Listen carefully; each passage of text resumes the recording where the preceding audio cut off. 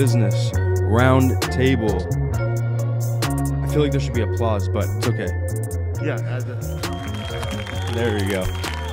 Today, it may, you know, it may not be too obvious, but I, we're gonna do some Halloween stuff. We're gonna talk about some sales nightmares, Yeah. which I think fits.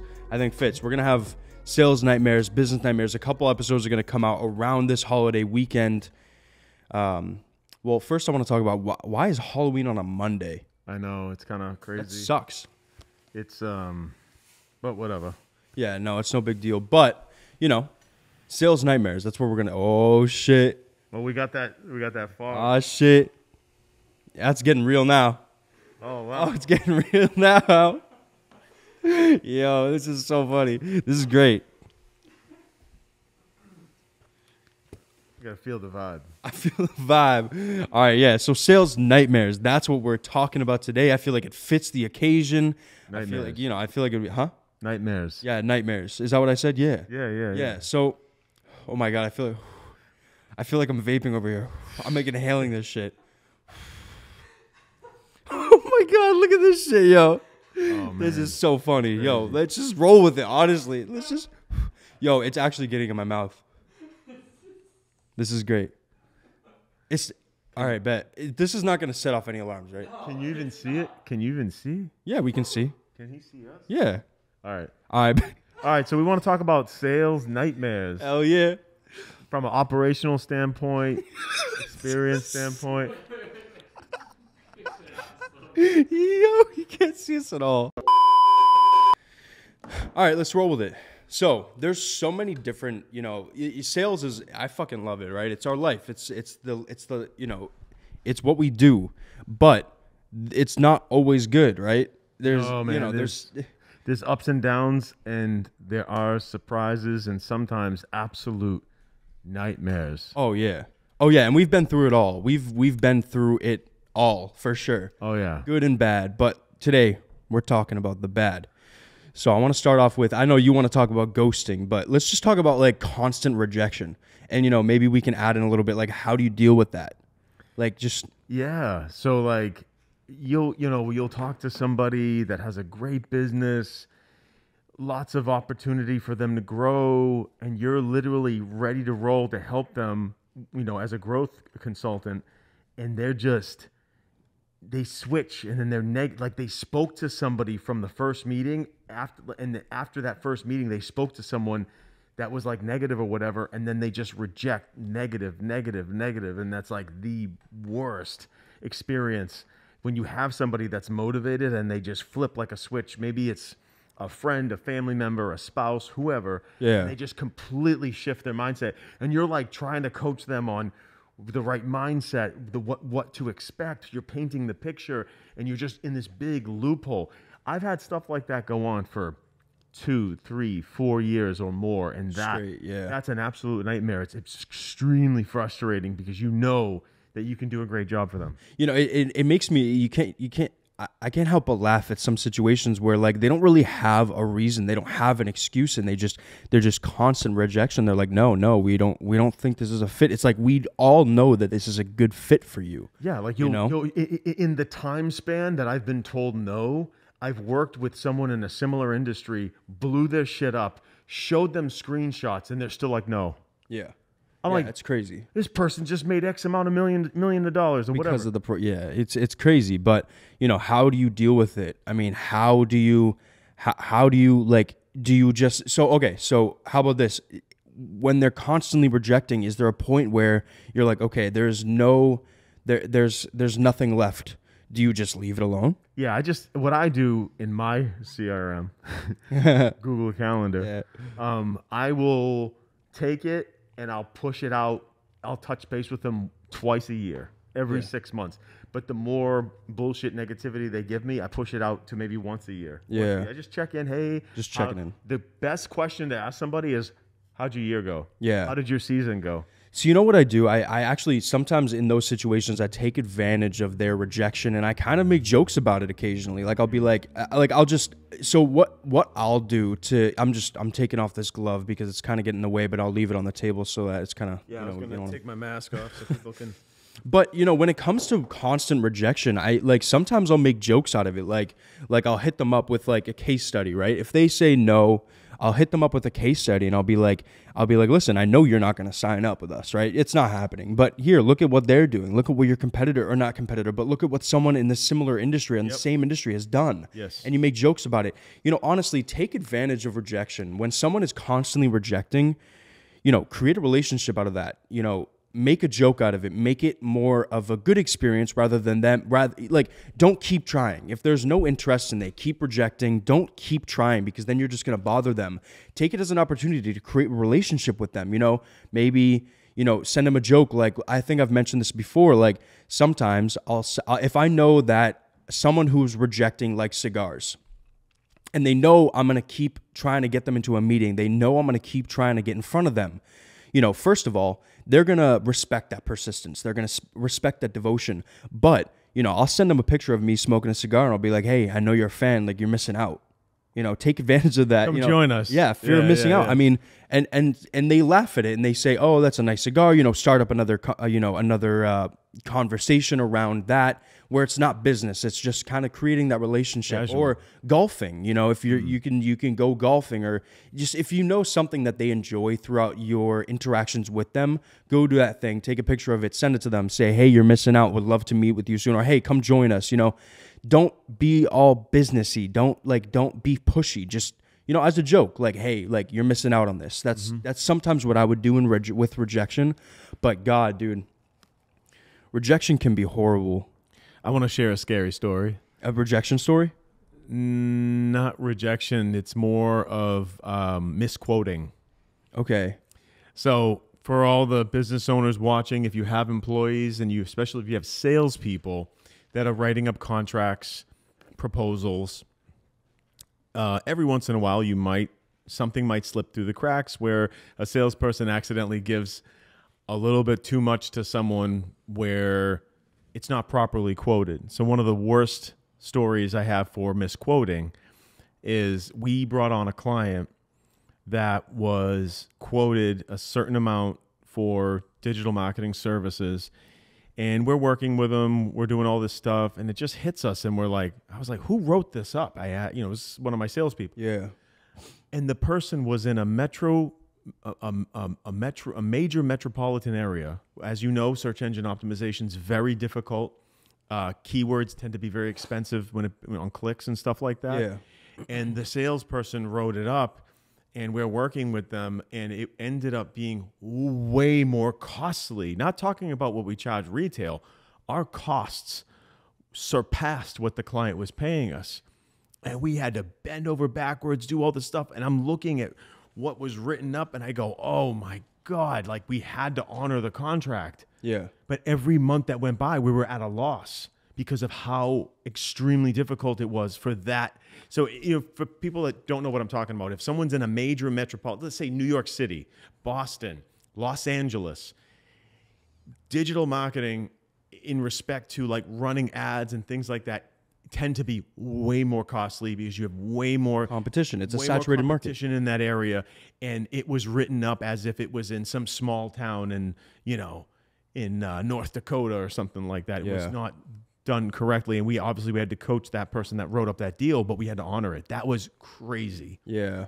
No, you, you have to that's some I mean, honestly that kind of that ties into another situation that's kind of a nightmare is just like the just you know, quote issues or you know, like um what is it called? Errors, like quote errors or or um, you know, contract errors or stuff like that. yeah. Like you have to stick to it and you have to maybe some in some situations you got to eat it. I had a client that was honest. We wrote it up and we missed a big piece that basically said we were going to provide this level of service.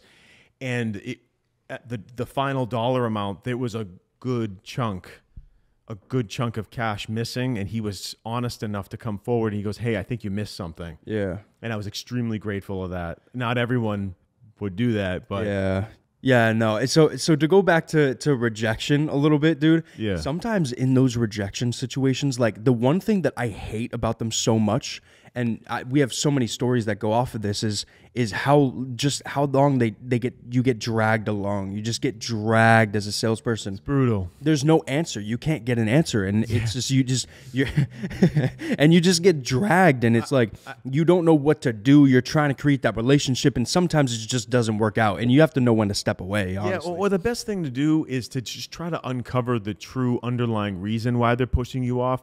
You say, hey, is it the term or is it the monthly investment? Because we can always start out smaller rather than doing nothing. Because it's better to break the ice and do something with the client, show them progress at a smaller level, and grow from there. Yeah. But some of the some of these prospects won't even bite at that. I'm like, Yeah. let me let me put an extra couple hundred thousand in your pocket. Oh no no no, we're not there yet. And I'm like, dude, like what are you waiting for? You Yeah. just told me you were interested. Yeah. But I, I got a crazy story for you. okay So we had a client that was with us for a long time, loved working with us. Um, we had a sales guy that was working with us, and it was time for their renewal.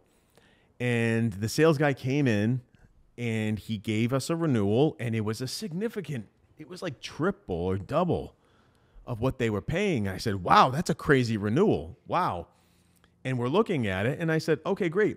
So then the sales guy was like, Let me get the commission. I was like, Well, this is a huge deal. yeah Let me confirm it. yeah So I called the client, and he had absolutely no idea what I was talking about. I was like, "Hey, I just I want to book your kickoff meeting. I want to get you know do a refresh." This was already a client that was with us for three years. He renewed with us. Hey, thank you for renewing with us. He goes, "What? What? What are you talking about?" I said, "You just renewed with us for X amount of dollars." He goes, "Uh."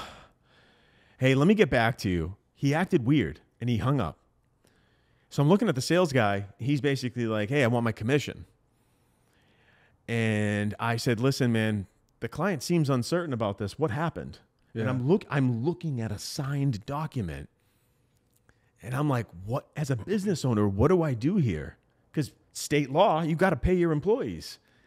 And I'm like, what the hell do I do? If this renewal is not active or real, yeah what do I do in this situation? Um, I ended up getting so nervous, I got legal counsel. Just a quick phone call to Yeah, an attorney. course, I yeah. don't, I barely use attorneys. I just, I called them to get, I was like, dude, I'm in a weird, weird situation. It was a nightmare. yeah And I'm like, I got a guy that I owe X amount of dollars in commission, and the client saying it, it didn't confirm or deny, but he acted very strange. So I ended up calling the pro- the client's wife. She's like, no, no, no, we're not renewing. I got the confirmation. Then I called the husband. He goes, listen, I'm not getting into this. And I go, what are we doing? Are we moving forward or are we not? I go, dude, just tell me. I go, I need confirmation yeah but the person's name on the contract was the gentleman, Yeah. not the wife. So I have this guy freaking out, going, "Pay me my commission." And uh, the attorney advised us. He said, "You're better off just cutting him a negotiate some kind of check to settle it. yeah Talk about like explain the situation." yeah So it went from owing, owing him X or say 3X. And I went to him. I said, listen, man, I don't know where this signed agreement came from, but I need to settle this matter right now because the client is not moving forward. So, long story short, I had to cut him a check basically out of our pocket, call it a day, and it's a wash. And he moved on. He went somewhere else. But like, and it really, it really tarnished that relationship because he knew something happened. Mm-hmm. I knew something happened. He didn't want to get involved. He was like didn't wanna get his, anyone in trouble. He was Yeah. putting his hands up, and I'm like, dude, I got this signed agreement. What the f is going on? That's a as a business owner, that is a nightmare. yeah And if you if you have salespeople, make sure in your employment agreements you have in respect to commissions that funds have to be received. They have to be collected at least the first one or two payments before a commission is issued yeah because you never know what happened there. yeah so I'm, yeah I'm I'm sitting there and I'm looking at this, and you know, I don't want to make I don't want to point fingers or make any claims, but it was weird. and it was a very bad situation. Shitty salespeople. I, I can say it. Shitty I sales. no no no no no. no. He, he, he he was no no no. He was good. I just It's don't know what happened. Yeah, I don't yeah, know what yeah. happened. I don't. Yeah, that, no, I know. I don't know what happened, but it was a dumb situation. I was like, dude, you got me in a bad spot. Yeah. Now, yeah. if I called the client and they're like, yeah, gung ho, absolutely, let me write that check. Bang, Mm-hmm. there you go. Congrats. I got a client going, uh, I don't know what you're talking about. Yeah. All right, ready? I have another one. Buyer's remorse. Oh.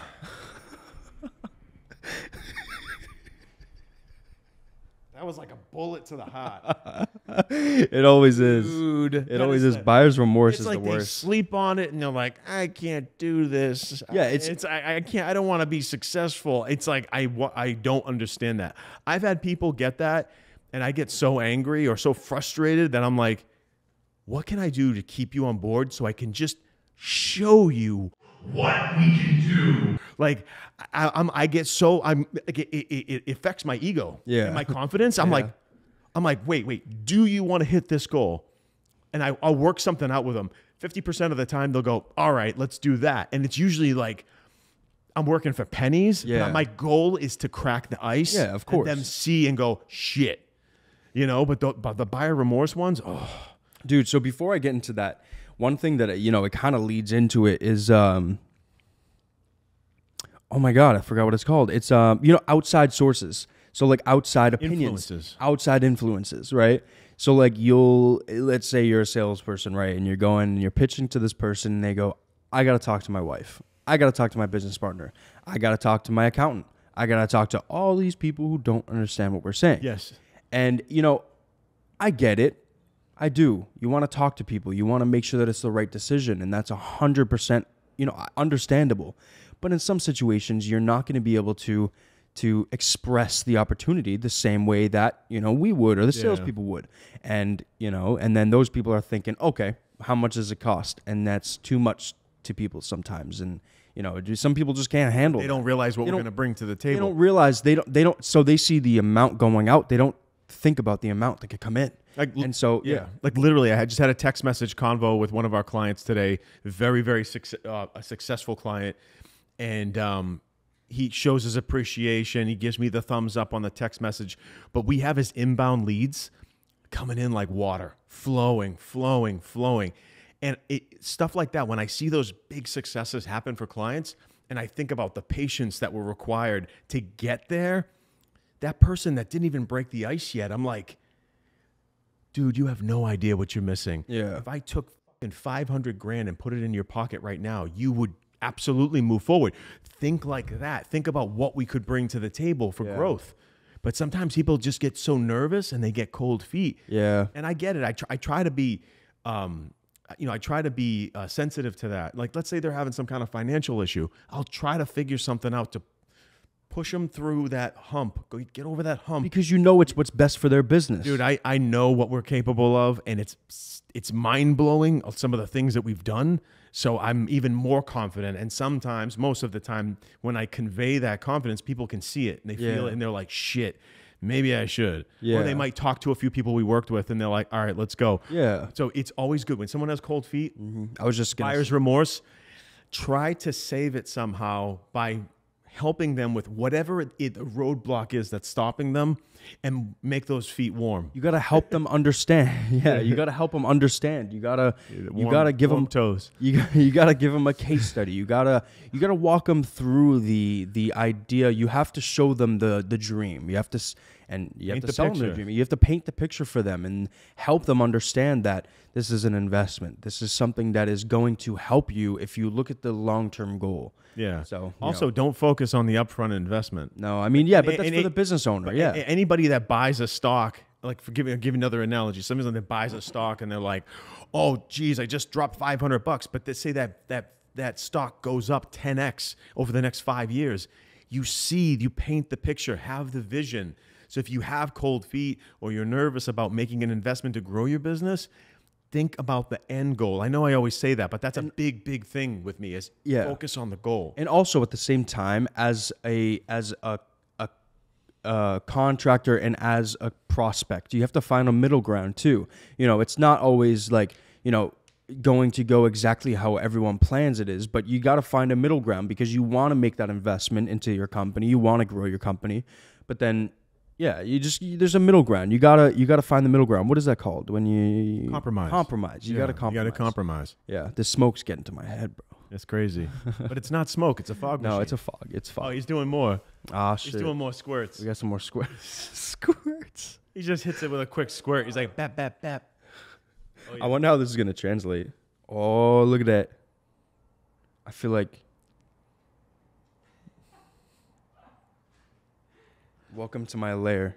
I got a nightmare story for you. A night- oh, a sales nightmare. Yeah, Uh oh. a sales guy nightmare. Um, and I will never name names. I'll never shame anybody. No, we don't want to shame. Um, it's less. but I, I had an interesting situation where I had a guy, and again, I'm not naming names. I had a guy come on board as a sales guy. He worked for another agency, showed me incredible incredible numbers, and he came on board and he was working remote, and um, he didn't have many questions. And my business partner was like, "Why isn't he asking you questions?" I'm like, "He's turnkey. He's from another agency. Yeah. He doesn't need to be taught shit." That's what you thought, at least. I go, "He doesn't need to be taught shit." I was defending him. Yeah. And my business partner, who again was supposed to be a police officer, he's got that brain. He can detect Yeah. bullshit from a mile away. Yeah. He's like, he goes, why isn't he asking us questions? Why isn't he really checking in? So like when I did check in with him, I always had my alert up, and I'm like, what's going on? Hey, who are you talking to? And how can I say this? So he said that a couple prospects that were going to be signing up with us were XYZ company. Mm-hmm. So I took the initiative to reach out to those companies and thank them for their business. They had no fucking idea who who I was or what the hell was going. They go, "What?" And I was like, "Let me shoot you a quick email. What's your email?" I got the email, fired off an email just so I had some proof Yeah. Sent them an email. I say, I understand that. I sorry for the confusion. I understand that you were you were planning on moving forward with our program. Um, can you confirm that you have no intention of moving forward with us? They would write back stuff like, I don't know who you are. I have no intention of moving forward. What is this all about? And I save it. And then the other one, same thing. So then you know the the curiosity curiosity started started to happen and um, the computer equipment that they were using was company owned and Oh, okay. yeah, yeah Yeah, so our see where this is going. our IT guy was like hey put this software in and you can see everything that they're doing on a day-to-day basis so it was our equipment so we put some monitoring software on there just to see you know production what's going on um, we don't normally do that. It was just because of all this weird, these weird signs, and we put the software on there. Yeah. So the, you know, there's several softwares out there, so you can monitor. Game's like, what the fuck are these guys doing? That's as an employer, you get hit up by all these different software companies that say you want to monitor um, uh, employee productivity. Use this. For the record, we don't use any of that. I just feel like it's too invasive. It is, yeah. But I don't I don't do that. It was this one situation where we had all these red flags and I said I, I just I need to see what's going on. Just for reassurance. Yeah, so we it was our equipment. We had um, our own monitoring software and we could see what was going on on a day-to-day basis and it was complete bullshit. It was no work was being done. Um, I checked in with the, the salesperson. How many emails do you send out a day? And he's like, "Oh, dude, I send out 80." And I'm like, "We look, we it, by the way, we can see all the company emails." So I had my guy go in, pull up his emails. He sent out one email. It, wow. Okay. And this is a guy that's collecting a salary Yeah. and everything and it was I- was like oh my god and i tried to again i got some professional counsel i was like what do i do in this situation I, and he goes collect as much proof as you can Mm-hmm. and then what we did was we presented all the proof to him and basically he you know he basically ghosted us we never saw him again but Yeah. that was a effing nightmare it was crazy like i, I was like dude like Waste of money, waste of time, waste of Yeah, yeah, but, like, but- resources. Like, but like but then then I, then my gears start to turn like did you really bring in those numbers at that other agency like what did you call that agency? I did. After I called angry, I was like, hey, you told me that you would hire this guy again. This guy just basically did nothing for months. Yeah. Months. Mm-hmm. Prospects were saying they didn't even know who he was. It Was a competitor agency? it was a competitive agency, yeah. Some people are like that. But I, I don't know what that's a. I don't know. I don't. I just. yeah. It's still a mystery Yeah. to this to this day. I just don't. I don't know the whole story, and I was very reserved on how I explained that story because I don't want to shame anybody. Who knows? Yeah. Maybe he was going through some stuff. I Yeah, you never know. Whatever. You got to give people the benefit of the doubt as an sometimes. as an employer, I'm like, what the is going on? Like, Yeah. dude, like I'm paying you, and I don't see any evidence of work going on. Like, holy crap! yeah. And I was the one like defending him. My business partner was like, dude, I smell bullshit. I smell bullshit. I'm like, no, you know, let's not, let's leave him alone. Yeah. Let's not breathe down his neck. Yeah. And I, I, he was right. Jay was right. Got to trust that gut sometimes. Yeah, he's got the mega gut. Like he's got, he can detect anything. I think he's Yeah. pot alien. No, dude, he's got the like sixth sense. so another one, Yeah. another nightmare that we deal with probably, I mean, on a daily basis is gatekeepers. And I know oh. some people are like, oh, gatekeepers aren't a thing anymore. Come on, man. You're not making calls. You got to be careful with gatekeepers because let's say you have a, a conversation with the owner and you're trying to get back to the owner. Say you didn't get his mobile phone, Yeah. And the gatekeeper will just pigeonhole you into just being a cold call. And you're like, no, no, no, we've dealt with him before. And you have to watch your attitude because they, Oh. may, they may provoke you into getting pissed off. So then they can go to the guy that liked you and say, oh, he's so rude. And then now that prospect hates you. Yo, but there's sometimes, like, what, what I hear constantly is they're in a meeting right now. Can I take a message? Constantly, yeah. They're in a meeting right now. Can I take a message? Like, he's not in a meeting that much. Like, if you're in a You meeting that much, good for you. We're flying down to Orlando. Like what up, Eminem? You in a meeting? You in a meeting? you walk in. Yeah, but all Bullshit. I, all I hear all day long is they're in a meeting. Can I take a message? So- I don't want to leave a message you- anymore. Never leave a message. so Jake, and Jake and I heard about the Orlando, Florida market. well, just the Florida market. Yeah, yeah, yeah. so we go down there and we meet with this VP of marketing. Meetings he's- went He goes, by the oh way. "Oh my goodness!" And he's like all impressed. And in the meeting, and he's like, "Oh, absolutely." And we offered him an exclusive. And I go, "Hey, timing is critical here. We want to work with you." Da da da. and ready? Ghosted. ghosted. it went. It went from him almost dancing in the meeting, Oh yeah, Just like- all excited. just like uh, just just dancing in the meeting, so excited, and we were looking at each other like we're gonna get this, and then. We, it was so bad. Our flight was like what? It- our flight was coming up, and we were parked outside across the street. oh street. my god, no, yeah, we Looking at the place. Ready, ready, ready, ready, ready.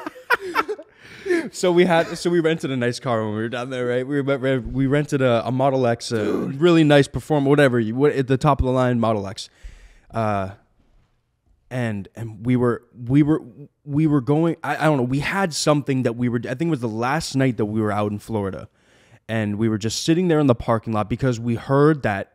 All of the All the owners, owners, yeah, yeah, everyone yeah. is there at them in the We saw office. the- we saw the meeting. AMG Mercedes saw all outside. their cars. Yeah. and like we sound like uh, this is sales, right? Whatever. Fuck it.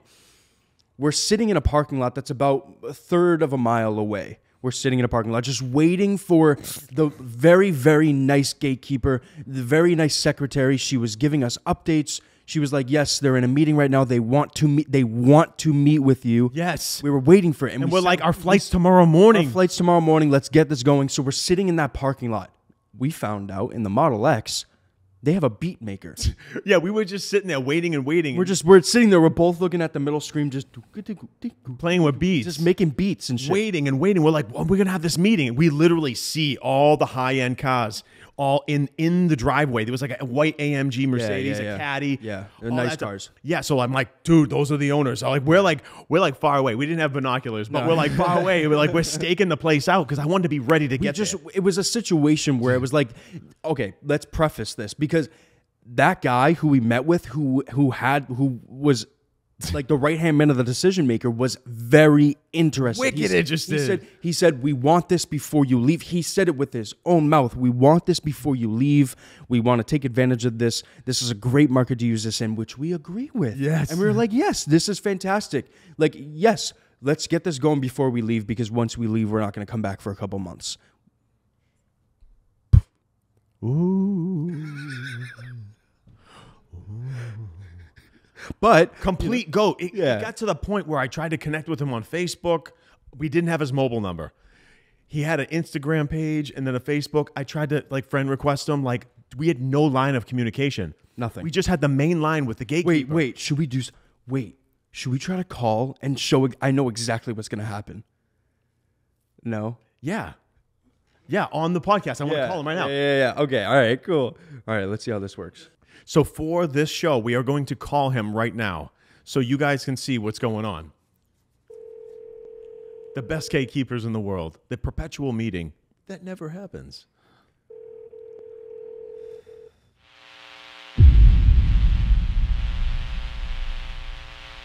topic. So they didn't end up answering. You know, that's fine. We're, you know, I'd like to make some calls on this, um, on this podcast. I want to like show people like how we do, like, like get some, you know, real calls in and and stuff like that. But what's like one more sales nightmare thing before we close it off? Uh,